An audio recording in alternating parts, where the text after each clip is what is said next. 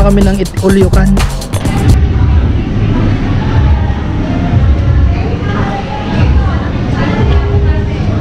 you can. Nakailan, Carl? Two times. Two times pero Bundok. bako. Bako.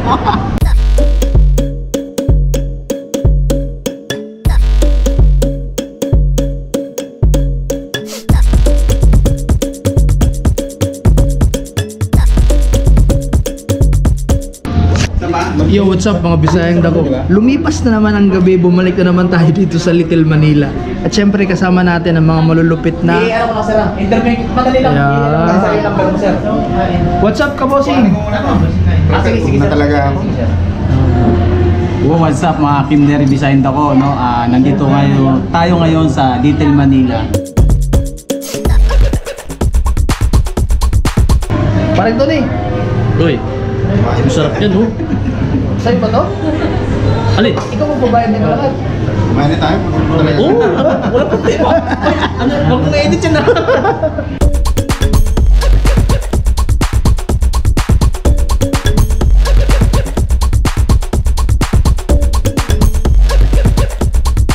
Ano yung gusting ni Kuya Kim eh? Uy, mag-shoutout ka na ba? Shout out po sa mga sumusubaybay sa ating kaibigan. Ayun. Parin Joey.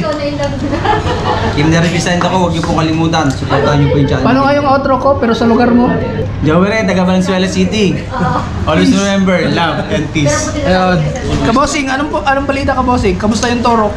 Sakit. Kalahati ng tao, sakit. Eh, ini-encourage mo ba na magpaturok lahat? Ay naku, oo. Pagka sinrekomentado sa inyo, turok agad, sagad. Ayun mga Bisayan daw nandito kami sa Mr. Lomico.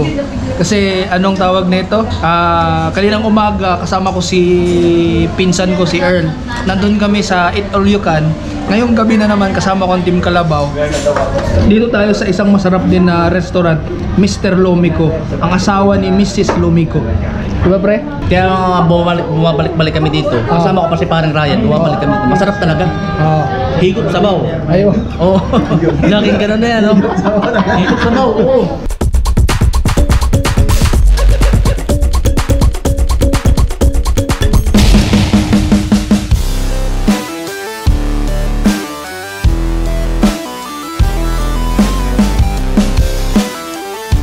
Magandang gabi sa iyo, Tito Boy. Maraming maraming salamat sa pag-imbita mo sa akin dito sa iyong show. At uh, kinagagalak kong maimbitahan dito sa iyong show kasi nga bilang isang small YouTuber, isang malaking oportunidad na na ma-interview mo dito sa iyong show na mapapanood ng milyon-milyong Pilipino sa Pilipinas at ah, sa buong mundo. Oy, shoutout din sa mga nandito sa studio ngayon. Maraming maraming salamat sa panonood nyo. Sana mag-enjoy kayo ngayon. Tito Boy ulit, maraming maraming salamat. Do you realize that today you're one of the biggest names? Tito Boy, I don't consider my name as one of the biggest names here in YouTube kasi ah, kakasimula ko pa lang and ah, sa journey ko sa YouTube, I'm almost two years na nag, naggumagawa ng content and ah, kung sasabihin mo kasing mga biggest names or malalaking pangalan or mga bigating pangalan Tito Boy, dun papasok yung mga Will Dasovich, Kung TV, ah, Ibana Alawi, ah, marami, mara, mara, marami silang mga biggest name Tito Boy. And and they have millions of subscribers. And sa situation ko ngayon Tito Boy I'm happy and uh, I'm, I'm, I'm blessed sa mga subscribers na meron ako ngayon. Kasi nga ah, andyan yung mga kaibigan ko yung mga yung mga family ko. So kung sasabihin kong malaki na yung pangalan ko it's enough for me na alam nila na si Kim Neri Bisayang Dako nag exist sa YouTube. And minsan nga nakakatawa Tito Boy kasi ah, sa trabaho or, or sa labas tinatawag na nila akong Bisayang Dako. Kasi nga dahil sa YouTube channel ko. So so yun yun Tito Boy doon ko mako-consider na malaki yung pangalan ko kasi mas importante sa akin na at first ah, ang family at mga friends ko ah, kilala nila ako bilang Kim Neri Bisayang Dako na content creator dito sa YouTube. It's, it's fun, it's cool, di ba? Masaya dito sa mundo ng YouTube, Tito Boy, kasi nga marami kang mga taong nakakasalamuha ah, sa loob at labas ng YouTube platform. May mga taong pwede mong maging bagong kaibigan sa physically sa sa sa labas ng YouTube Like for example, sa amin sa Kuwait, ah, dahil sa pagva-vlog, marami na akong nakilalang mga mga iba't ibang personalidad na mga vlogger, mga naging kaibigan ko na din, nakasama ko sa trabaho. Tapos sa loob naman ng YouTube, yung true online lang, ah yun, ah, nagme-message sa Facebook, sa YouTube, yun, nag, nagsusuportahan kami doon and yun nga yung nagpapasaya kasi dahil sa mga taong nakikilala namin dito sa YouTube, marami kaming mga skills or mga additional na knowledge na pwede naming i-adapt sa aming ah, channel. Yun, yung parang may natutunan ka sa kanila, may sinishare ka din sa kanila, yun yung maganda doon. And ang napaka-cool pa dito boy kasi nga marami sa amin gustong pang-artista tulad ko. Ah, kami yung artista sa sarili naming video. Yun yung napaka-cool doon. Kaya pa, minsan pag nakikita ako ng mga kaibigan ko or ng mga kamag-anak ko, sinasabi nila, Uy, si Kim, ah, artista na oh. Pero eh, hindi hindi pa naman wala wala pa tayo sa kategory na yun. Pero pero masaya, masaya dito. So, paano ka napunta ng vlogging? Dati kasi Tito Boy, mahilig na akong mangolekta ng mga pictures, ng mga ng mga videos kasi nga 'di ba wala na masyado ngayong photo album. So lahat nasa multimedia na. So sabi ko, gumawa ako ng vlog and at the same time I could create memories dun sa videos na yon at dun sa mga pictures na yon. And yun nga, yung around 2019, ah, pinanganak yung baby ko, bumili ako ng camera pero hindi ko pa naisipang mag-vlog nun. Then, during sa baby shower ng anak ko, inimbitahan ko yung dati kong katrabaho, si Paring Anthony. Si Paring Anthony, gusto niya na talagang mag-vlog kasi gusto niya nang may kasama. Pero sabi ko kasi, pre, hindi pa ako makakapag-vlog siguro kasi nga may, may baby pa ako, kailangan kong magbantay. Eh, alam mo naman dito sa buhay ng, ng, ng Pilipino sa abroad, And at the same time, kinukulit ako tapos naiingahan nyo na din ako sa mga sa mga videos na napapanood ko sa YouTube. So sabi ko, oo nga no, bakit kaya di ko subukan na mag-vlog and at the same time yun, yun nga I could create memories uh, around from that. So yun doon ako nagsimula last 2019 ng pag-vlog.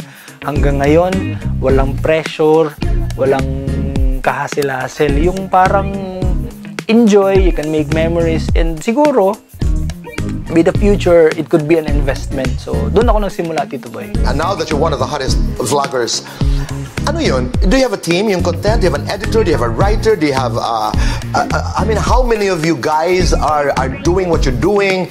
Um, dito sa YouTube Tito Boy pag nagsisimula ka pa lang talagang one man show kasi ikaw yung magiging director ikaw yung pipili ng ng topic na gusto mong i-share sa iyong mga subscribers ikaw yung pipili ng niche na gusto mong ipakita sa mga tao kaya talagang medyo hindi naman critical pero medyo kailangan ng oras na pag-isipan talaga.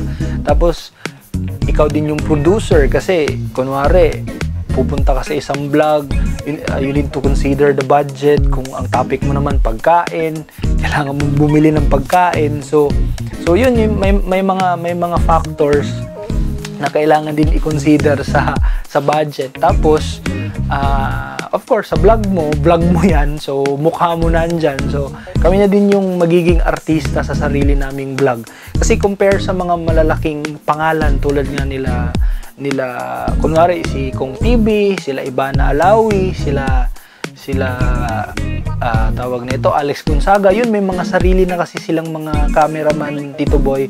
Meron na silang sariling mga editor so yun yun yung ano yun yung ah, meron na silang team kumbaga meron namang isang team na tinatawag dito sa YouTube community yun naman yung team na parang a group of friends lang Tito Boy so ako kasama ko dito sa team Kalabaw si paring Anthony si paring Joey si Kabosing si Paring Shoot tsaka si Bike Clarky. So sila yung mga kaibigan ko sa loob at labas ng YouTube. Nagtutulungan kami kung kung kung paano pagandahin yung mga channel namin, nagbibigayan kami ng ideas, nagtuturuan kami kung paano to i-edit, kung paano to i-fill up tung- sa mga tungkol-tungkol sa YouTube. So, yun Tito Boy, pag nagsisimula ka pa lang, sure yan na one-man show. Pag lumaki ka na, yan, pag ah, meron ka ng sarili mong team na pwede mong i- i-supervise. Tapos, in the middle of that, yun, meron kang mga kaibigan na pwede mong maging ka-team. Na pwede mong, pwede mong, anong tawag nito? Ah, mahinga ng tulong. I don't know if you realize this, but you have, you use your power correctly. Sa panahon kasi ngayon, Tito Boy, ang power andyan na eh. Kasi tulad nga ngayon sa generation na to, lahat ng mga cellphones, may mga camera, maraming mga iba't ibang uri ng camera. So, why not use it for for giving people information or entertainment, ba? Tapos, dito kasi sa, sa channel ko, Tito Boy, meron akong kinikater na OFW stories. Ito yung content ko na gusto ko talagang ipursu kasi nga gusto ipakita sa mga kababayan natin na, na, na nasa Pilipinas na yung mga OFW talaga ah, despite sa struggles and and anong tawag nito ah, paghihirap nila dito na binubuno araw-araw sa sa abroad talagang they, they still manage to smile ah, masaya pa rin sila and ah, hindi sila nagpapadala sa problema. Yun yung gusto kong ipakita na lahat ng mga OFW may kanya-kanyang istorya. At dahil doon sa storya na yun na pinagdaanan nila sa buhay nila, eh, yun nga yung tinatawag ngayon na ang mga OFW ang mga bagong bayani sa Pilipinas. So talagang ah, kung ano yung meron akong mga equipment na pwede kong na pwede kong ma, ma-share sa tao, talagang gagamitin ko yun. Alam ko hindi hindi katulad ng ibang mga gamit kung anong meron yung yung mga malalaking pangalan ngayon pero ang importante kasi doon may magagawa ka kung ano yung meron ka. Yun. So, yun lang Tito Boy. You, you, you, you use your power. It's, it's, it's, it's a good thing. And, and, and you recognize that and you use it to your advantage. Congratulations.